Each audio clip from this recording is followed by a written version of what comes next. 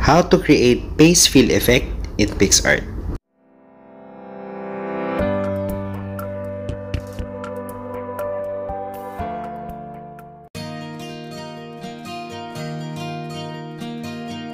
So, ang una natin gagawin, open lang natin yung free app natin na PixArt. Tapos may mili lang tayo ng image na gusto natin i-edit. Okay, sa pagkatapos niyan, pupunta tayo sa may cutout. Tapos gagawa lang tayo ng sticker. So, puputulin lang natin yung image. So, gagawa tayo ng parang mask. Ayan. So, guys, kung may mga lapses, no, um, burahin nyo lang siya, or i-undo nyo lang. Tinaasan ko lang yung hardness. Ayan. Tapos, i-ayusin nyo lang yung pagkakaano nyo sa image para malinis yung pagkaka-edit natin. Ayan. So, doon nga pala sa mga nag-subscribe, thank you so much. Um, feel free to comment on the comment section below. Tsaka hit nyo lang yung like button eh, para mas masaya. So, thank you, thank you so much sa mga nag-subscribe.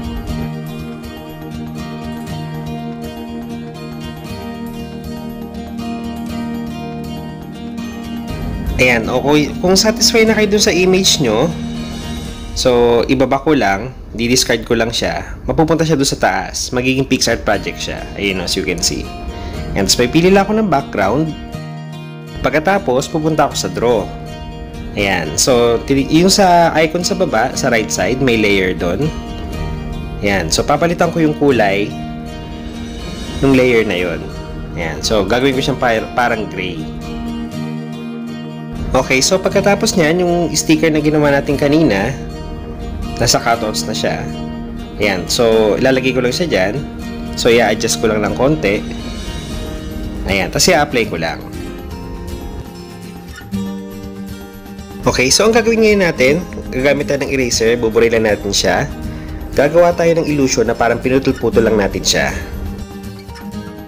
So ayan guys, no, ang ginawa ko, um, binabaan ko lang yung size ng eraser. Yan, so nagsimula ako sa manipis para mas madali ko siya makita tsaka may adjust. So ganyan lang, pag nagkamali kayo guys, i-undo nyo lang. So ganun lang gawin natin para mas malinis yung pagkaka-edit natin.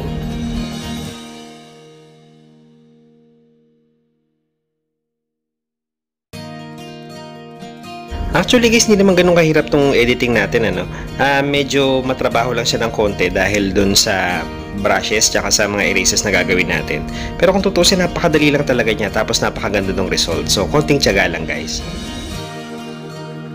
Okay, so shout out to kay Lau family, kay Ate Nene, kay um, kay Dayan, kay Angeli, kay JJ, kay Jeric. O yan, so wala na, ay kay Kuya Andy. O yan, so wala na ako nakalimutan.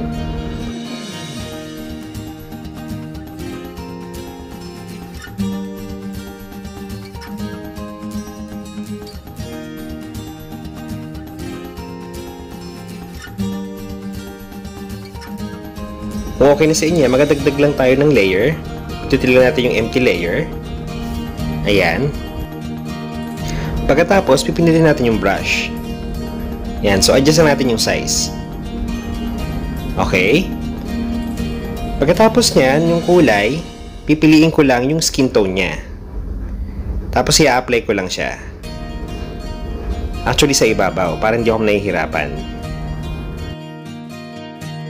Okay, so guys, ganito gagawin natin, no? Um, ibabrush ko lang siya sa ibabaw. Taasan nyo lang yung opacity. Ibabrush ko lang siya sa ibabaw para makita ko kung saan ko tinatamaan yung image natin. Actually, pwede nyo naman burahin yan mamaya. So, ginaganyan ko lang siya. Tapos, ang gagawin natin, ilalagay natin yan sa likod since naka-layer naman kayo. Ayan. So, ayusin lang natin yung pagkaka-edit natin.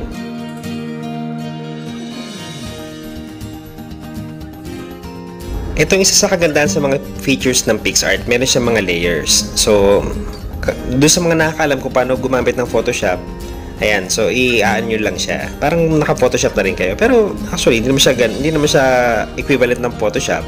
Yun nga lang, for a mobile app, it comes pretty close.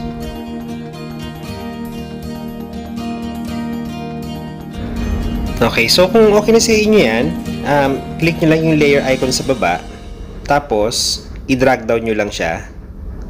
O yan, as you can see, napunta na siya sa likuran. So, kung may mga lapses man, burahin nyo lang gamit yung eraser.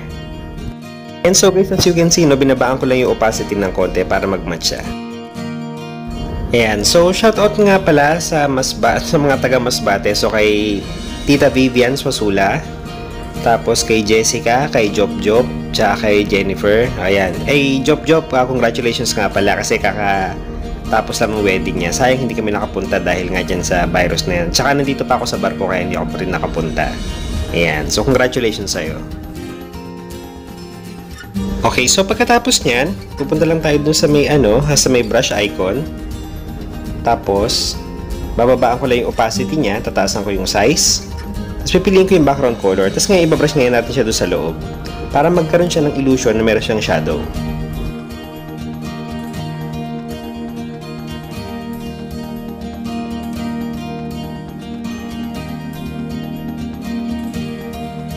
Okay, so pagkatapos niyan, i-merge lang natin yung image doon sa layer. Ayan. So pagkatapos niyan, merge. I-merge lang natin. So paste fill effect using PixArt. Thank you for watching.